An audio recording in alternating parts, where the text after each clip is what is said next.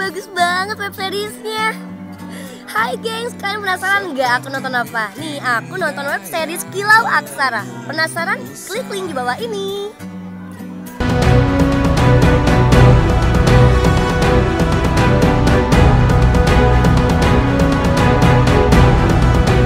Yunda, tolong antarkan Syekh ke istana dulu.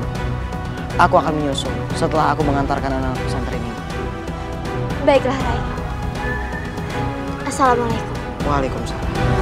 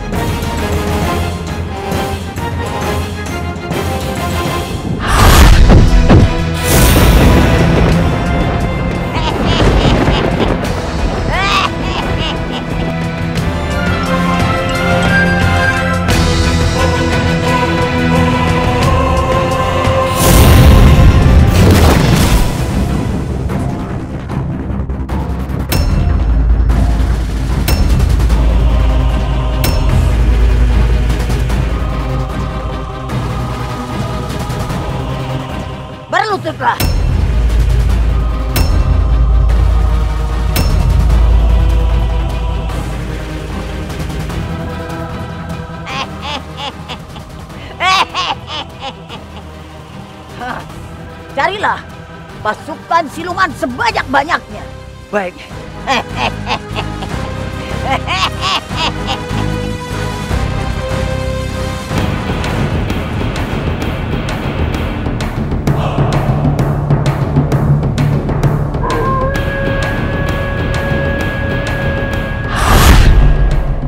Akhirnya, aku sampai di telaga ini. Di tempat ini tersimpan sebuah pusaka bernama Kris Setan Kobel. Aku harus mengambilnya dengan cepat supaya mereka tidak mencurigai aku pergi terlalu lama.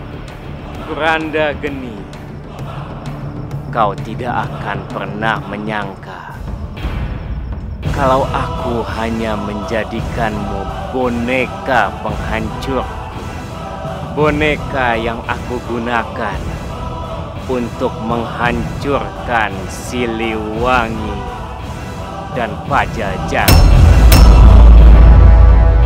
Wahai penunggu telaga bulan, keluarlah. Serahkan pusaka itu kepadaku.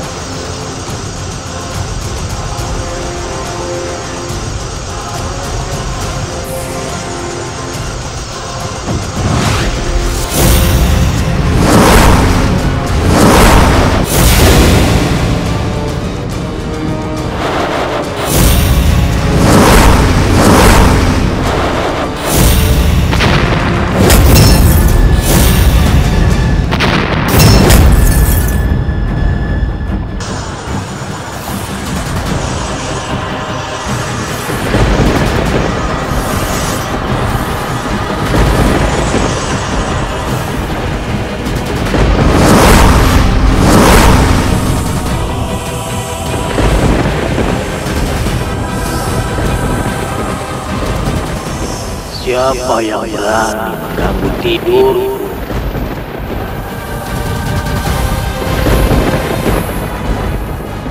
Aku Argada.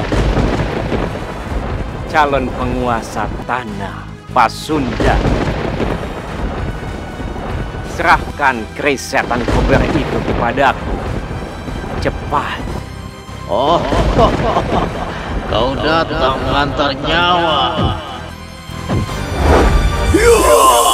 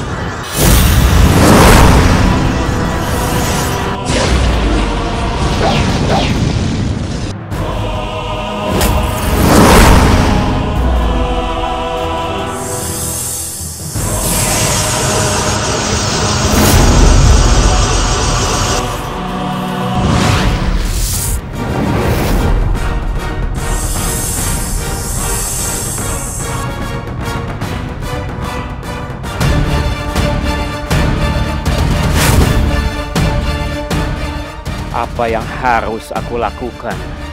Aku berada di dalam perut ular besar ini. Aku harus bisa keluar dari perut ular ini.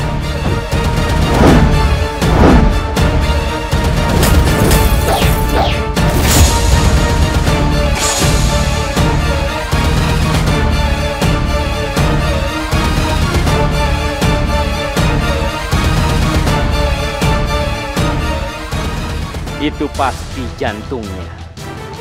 Aku harus menyerang jantung ular ini.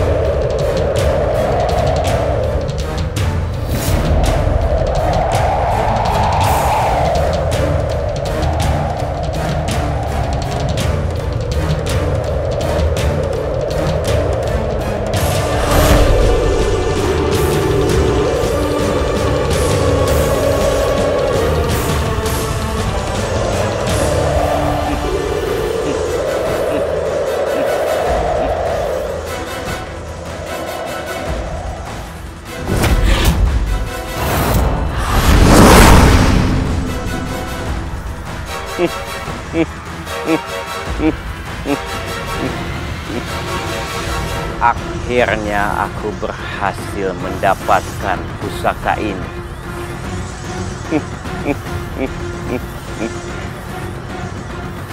Sekarang aku harus kembali.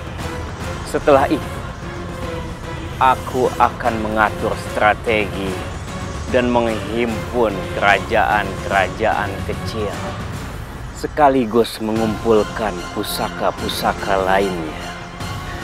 Tentu saja tanpa sepengetahuan Kuranda Geni.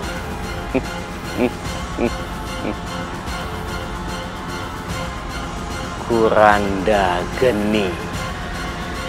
Siliwang. Kalian tidak tahu berhadapan dengan siapa.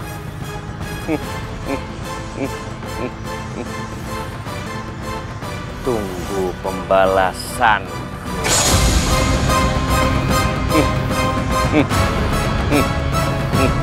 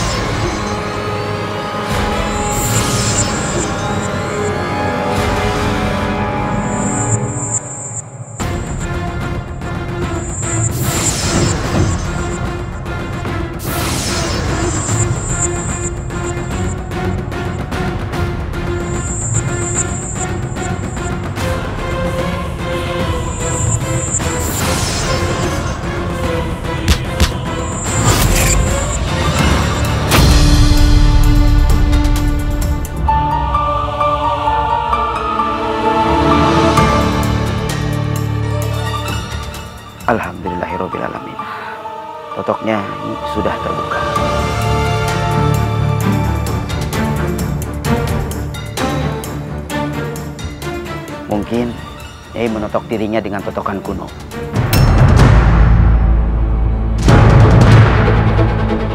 Mantra totokan kuno. Siapa Nyi Iroh ini sebenarnya?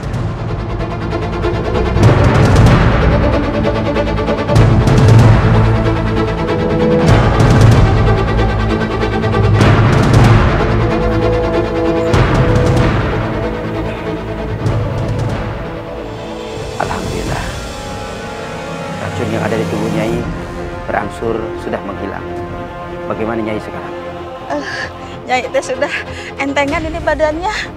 Terima kasih. Nuhun atuh aki seh. Nuhun. Berterima kasihlah kepada Allah Subhanahu wa taala. Saya hanya bersyariat, namun hakikat Allah yang menyembuhkan semuanya.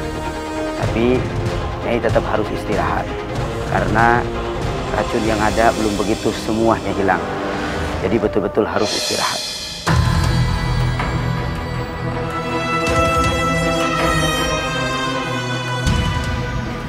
Tunggu Nyai. Nyai mau ke mana? Bukankah Syekh Mursyam menyuruh Nyai untuk tetap istirahat? Punten Gusti Ratu, bukannya Nyai tidak mau istirahat, tapi Nyai teh masih punya tanggung jawab untuk menyembuhkan Raden Walang Sungsang. Dan Nyai bagaimanapun juga harus ke sana. Punten Gusti. Terima kasih Nyai. Untuk bakti Nyai mengobati putra kami. Kami juga sangat membutuhkan Nyi Iroh untuk mengobatinya. Tapi apakah Nyai sudah pulih benar? Gusti Ratu jangan khawatir, Nyai sudah sembuh. Ah, Dan Gusti, eh, Nyai mohon izin karena harus ke sana sekarang juga. Saya akan mendampingi Nyai. Terima kasih Gusti. Kakang Sancang Lodaya, Gusti Prabu. ikutlah ke ruang pengobatan. Jaga keselamatan Nyi Iroh. Hingga putraku kembali sembuh. Seperti sedia kala. Sendika Gusti Prabu.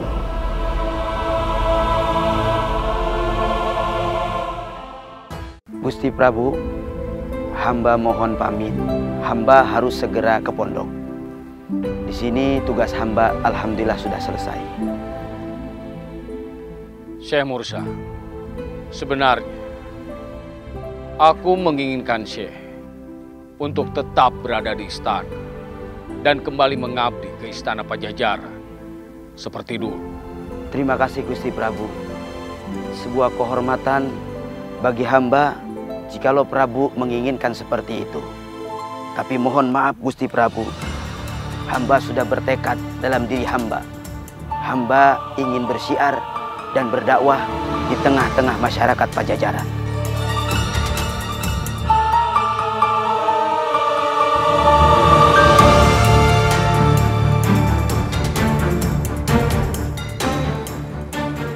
Ada apa?